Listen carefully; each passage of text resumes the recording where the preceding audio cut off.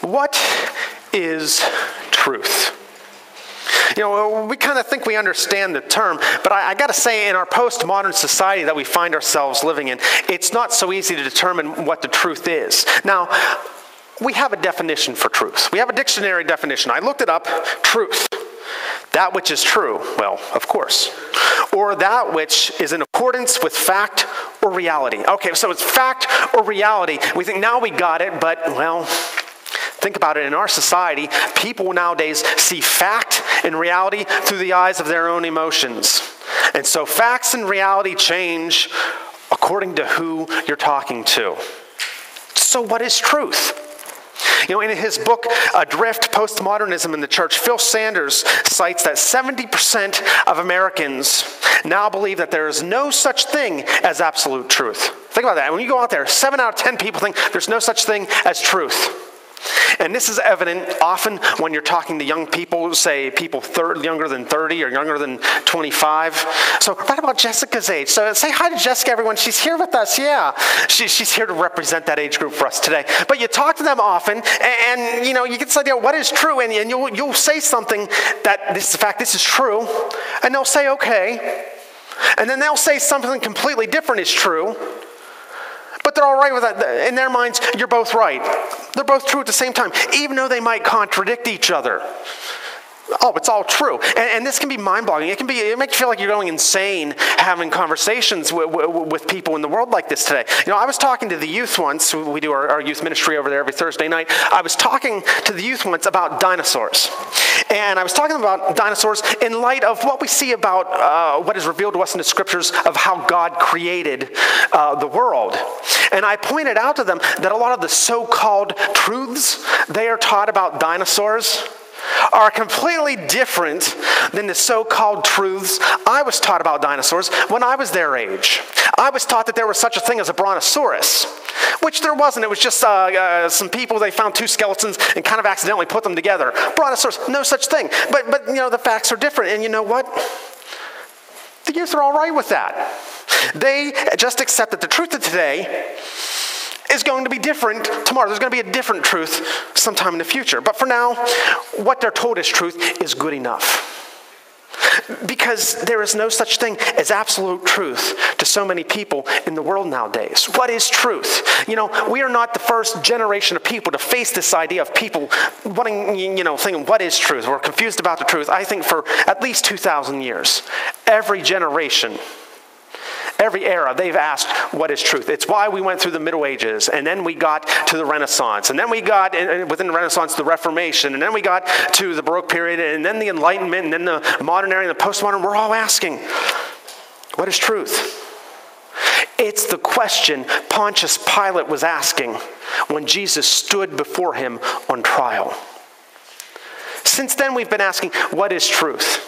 And I got to tell you, you look at what's going on with Pontius Pilate and this interaction with Jesus we're looking at today, and you see it has a direct connection to how we seek truth today. They were seeking truth back then, and we're seeking truth now. So let's look at this. Let's look and see how, how this helps us in our own context find out, you know, what is truth when we ask that question. So, you know, most of us know the events that led up to Jesus being brought before Pilate on trial, Pilate being the Roman governor uh, over the area at the time. It's been a busy week for Jesus.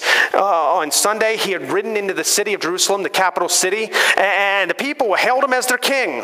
Uh, we talked about it at the children's sermon. We've been waving palms all morning. We saw that. They, it was a good day for Jesus, but it was a busy week even after that because there's so many people in the city uh, for the Passover celebration. Jesus was out there teaching the people and he was answering questions from the people, and he was out there answering questions from, the religious leaders.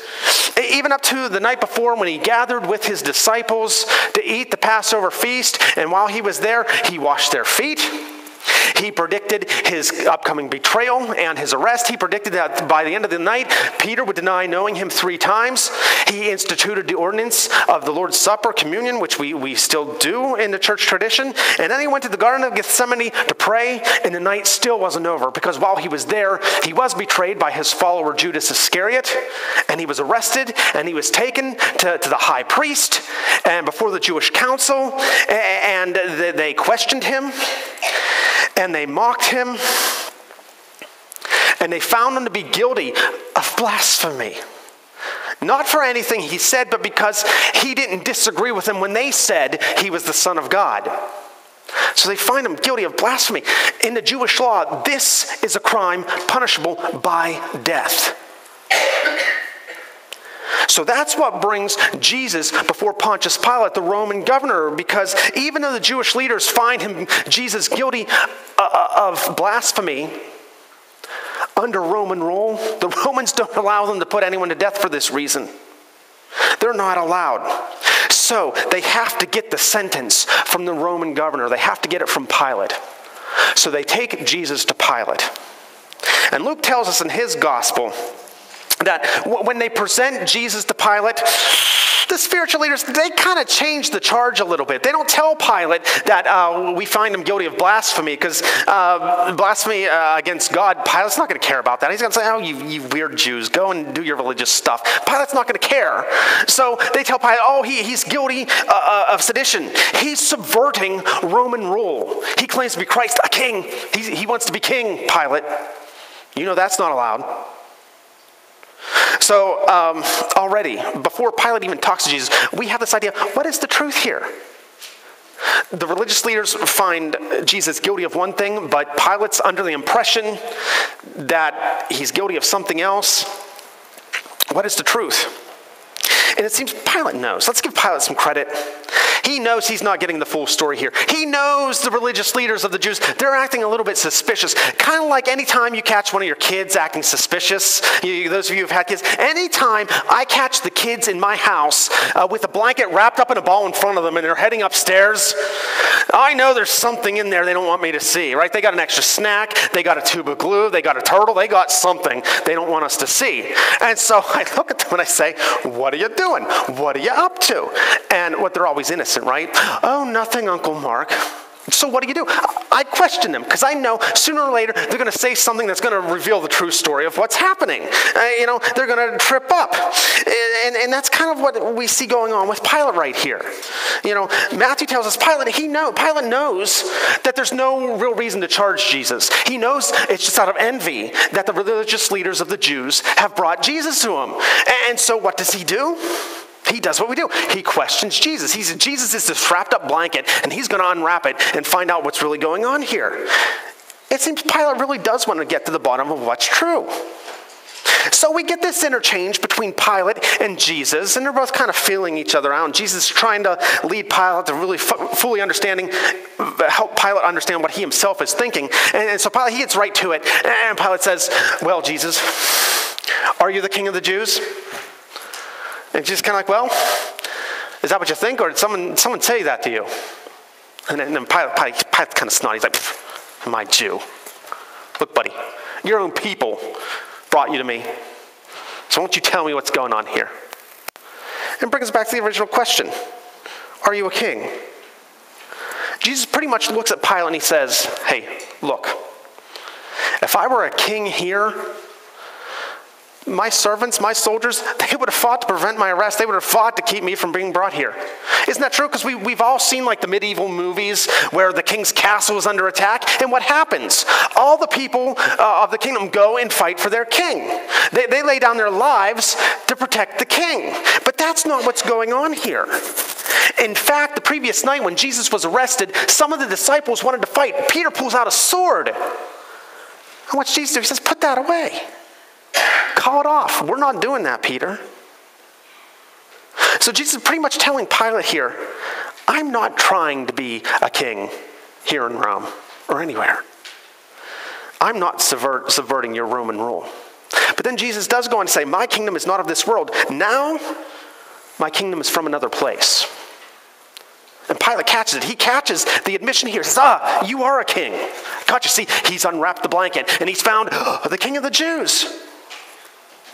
And then Jesus says it outright You are right in saying, I am a king. I am a king. See, the people, they had it right five days earlier when they celebrated him coming into the, to the city as a king. Is the people didn't understand that his kingdom was of another world. It wasn't about what they wanted it to be about, it was a different realm.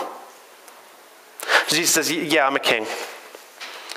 Now, there's an unspoken question here from Pontius Pilate. It's not there, but you know he's thinking it. Uh, Jesus, if you're a king and you're not here to take over, why are you here? Why are you in my country, Jesus? What's going on? So, so Jesus, even though Pilate hasn't asked the question, Jesus answers it. And Jim, show us what Jesus says here. John chapter 18, verse 37. For this I was born, and for this I came into the world to testify to the truth.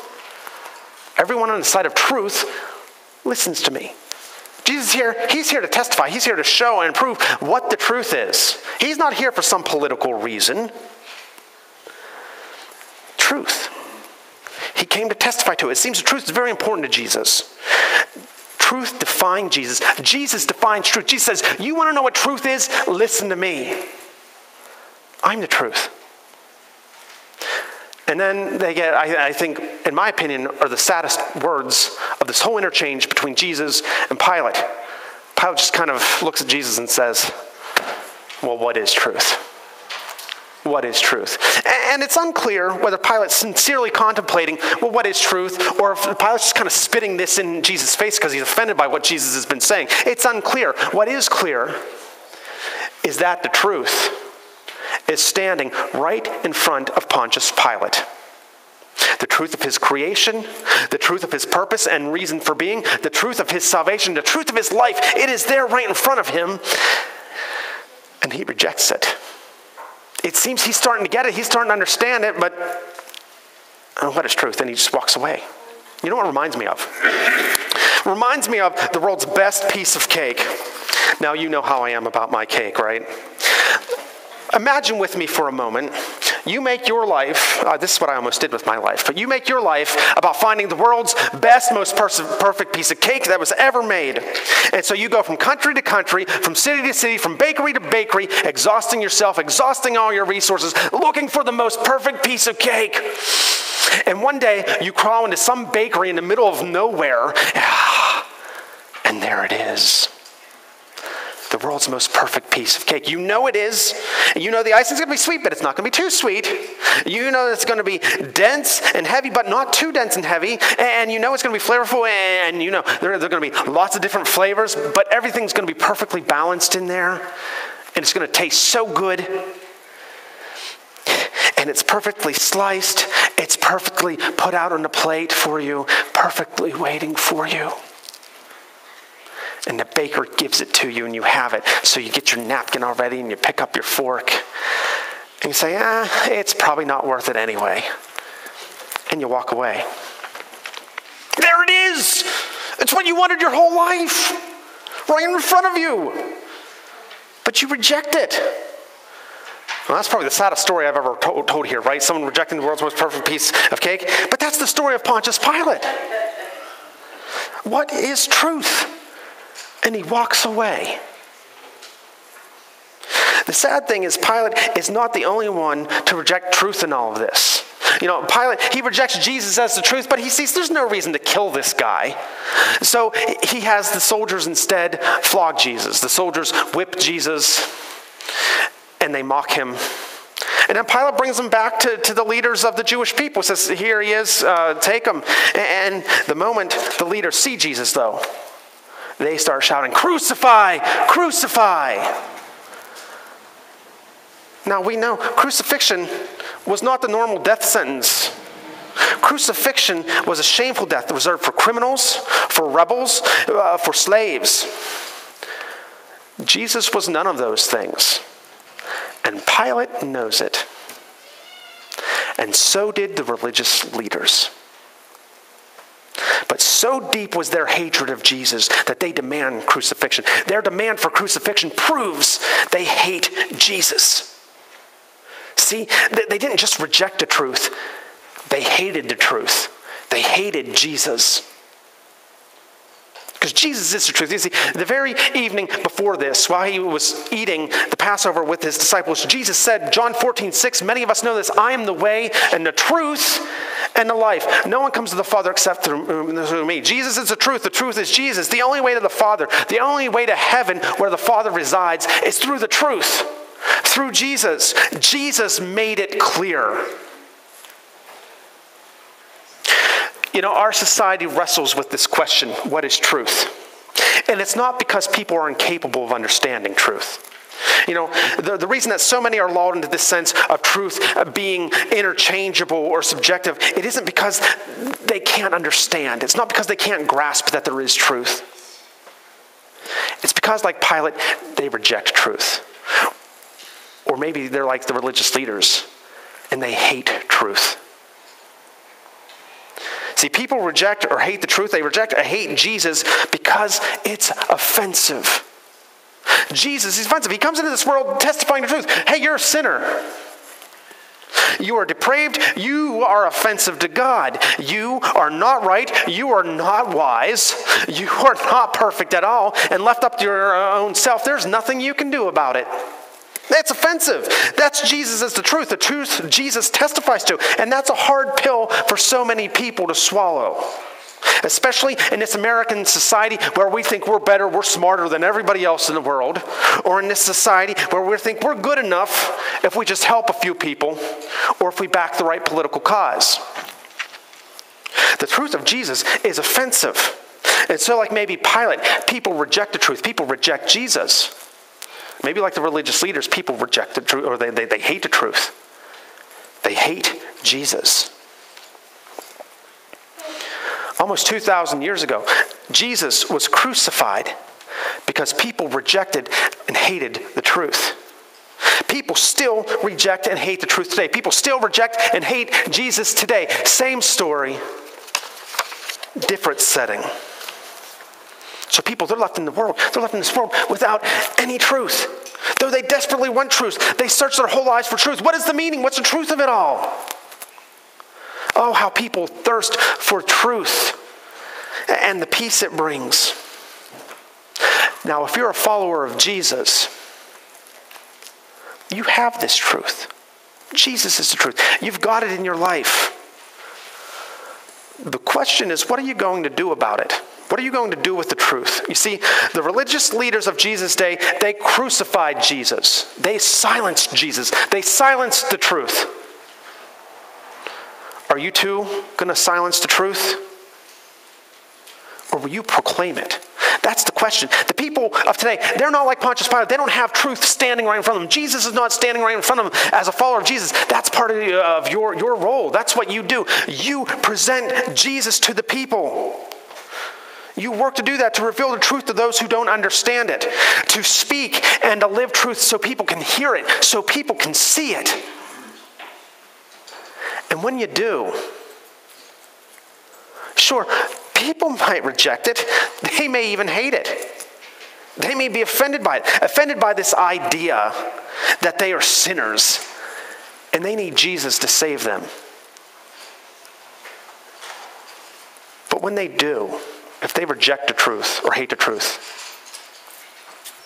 what they do with it is between them and God. That's not up to you. It's not your problem. You, you're not asking what is truth. You follow Jesus, you have the truth. You know it, so go proclaim it. When was the last time you proclaimed the truth of Jesus to anybody? Most of us, we don't have a good answer to that question. Next week, we all know, next week is Easter. Yeah, we're getting ready to celebrate Easter. Are we going to have our usual crowd? Are we going to pack the place? I say we pack the place. By way of encouraging you to go out and proclaim the truth, I want to challenge every single one of you who is here today to go and invite someone to worship with us next Sunday for Easter. Someone who would not usually be in church. Now, you want to invite other people who usually go to church elsewhere and they come and worship with us, wonderful. But invite someone who doesn't usually come to church. Tell them, hey, it's a special day. Everyone knows it's a special day. People know it's Easter. Let them know, I want to celebrate it with you. Come with me. And maybe when you make that invitation, it becomes a greater opportunity to share more of the truth of who Jesus is. Maybe it doesn't. Maybe they don't even come with you. But don't be silent. Don't silence the truth. 2,000 years ago, men hated the truth, and so they silenced it. And our Lord Jesus Christ was crucified. As a follower of Jesus, you have the truth. So go proclaim it. Proclaim it that those who don't understand the truth understand that Jesus' crucifixion, it came with a purpose. Jesus died for me, He died for you, He died for them. That's the truth. Go proclaim it that it might be known. Let's pray.